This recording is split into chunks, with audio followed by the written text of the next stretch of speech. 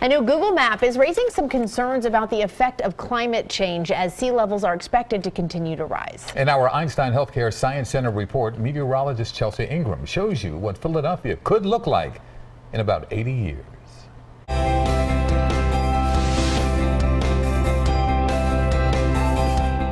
Portions of the Delaware Valley are vulnerable to rising sea levels caused by climate change. And a new tool and interactive map is painting a sobering picture of what parts of Philadelphia and surrounding counties could look like in the year 2100 if sea levels continue to rise.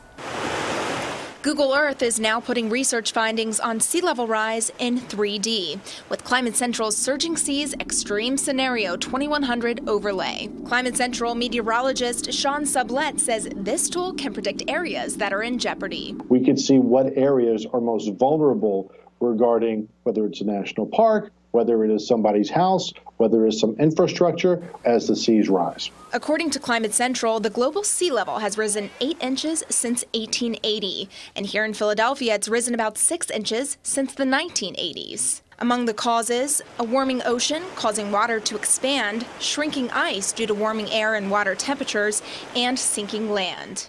While other cities may be more exposed to sea level rise, Philadelphia isn't in the clear. For instance, take Philadelphia International Airport and even FDR Park.